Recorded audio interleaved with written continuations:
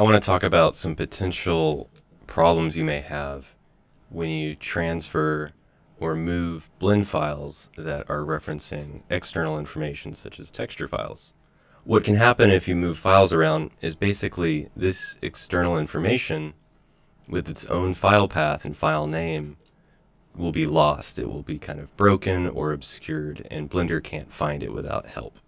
So if that's happening, if you're opening up blend files and your textures are gone, um, go ahead and stick with me and we're going to talk about ways we can prevent that. First, I want to demonstrate the problem.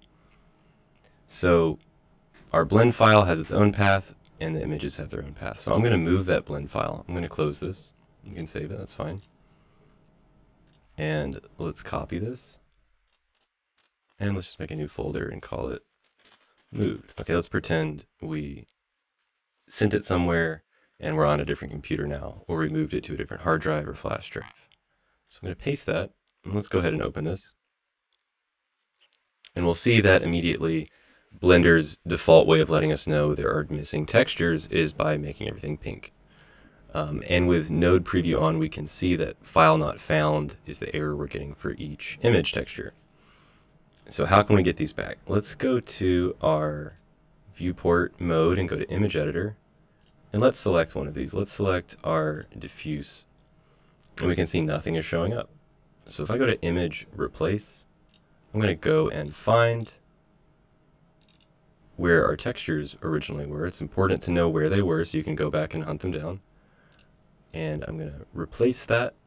And we can see our image pops up here in the image editor.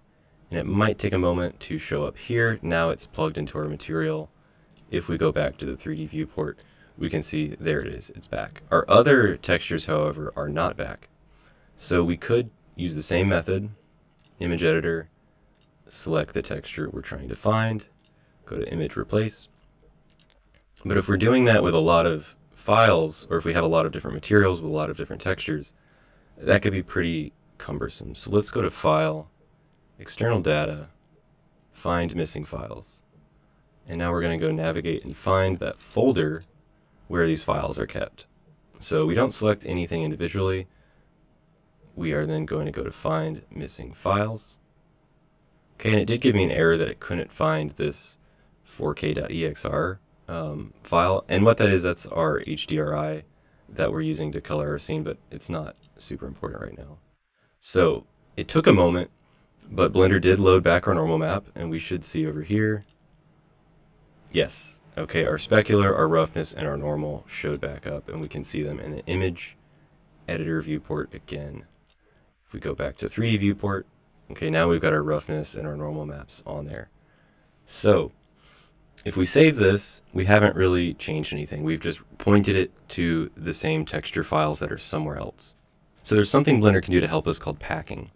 If I go to File, External Data, Pack All into Blend, Okay, what that's going to do is it's going to store these together. So before we do that, I want to look at this file. Just look at how big it is. Right now, it's about a thousand kilobytes. That's 1.24 megabytes. Okay, super. Let's just remember that. Arbitrary number. So now we're going to go to external data, pack all into blend file. We got an error again that that HDR wasn't able to be found, but that it's okay right now. So let's go to file, save. Let's flip back to Windows Explorer and we can see that file size has jumped up from about 1 megabyte to 34 megabytes. That's a big change. So what's happened is Blender is now storing these texture files inside of this project. You can always think of Blender files as project files, not just pure geometry, but a bunch of information and settings and modifiers and all kinds of things. So let's test this now. You can save it again. Let's move this I'm going to copy. And let's say move yet again. And paste it. And open that up. And let's see if it worked.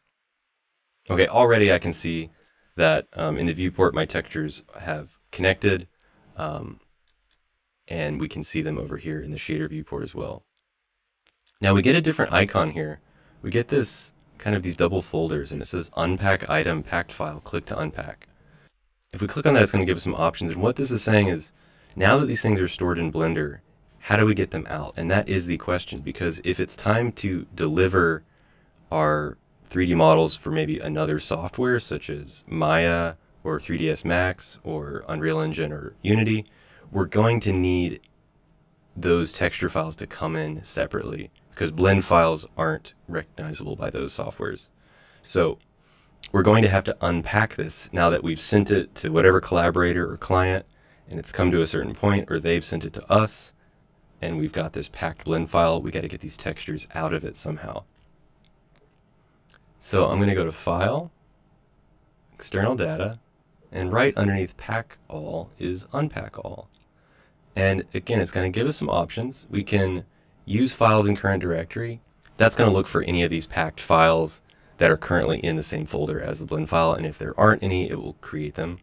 Um, I really would rather write them to the current directory because I know there aren't any right now. Um, you can also write and potentially overwrite existing files. Um, you can also remove the pack. So I'm going to write files to current directory.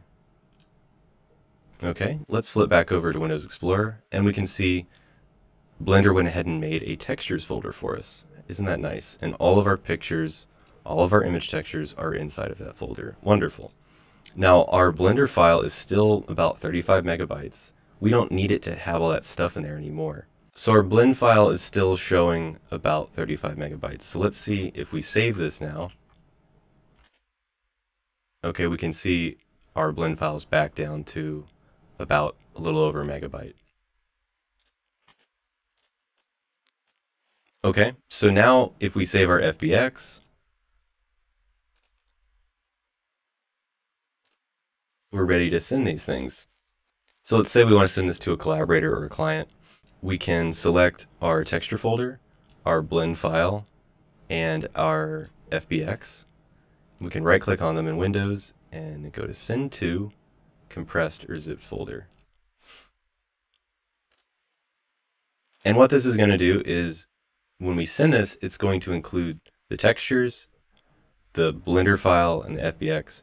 And if we were to open this Blender file, even if it's on a different computer now, because the relationship between where these textures are and this blend file haven't changed. Okay, you could have files and files and files and files that are like lots of layers removed from each other, your textures in your blend file, but that relationship has to stay the same that kind of web of connection has to stay the same. Um, keeping them, you know, side by side is a good way to ensure that that doesn't get broken. And sending a zip file is an even better way when you're transferring this stuff around, especially you know using the cloud, Dropbox, uh, Google Drive, WeTransfer, whatever. That those things will stay together. So I hope you have a better idea now of what to expect if you move a Blender file without the textures along with it and how to prevent that and some good habits in just storing your blend file with your textures as neighbors.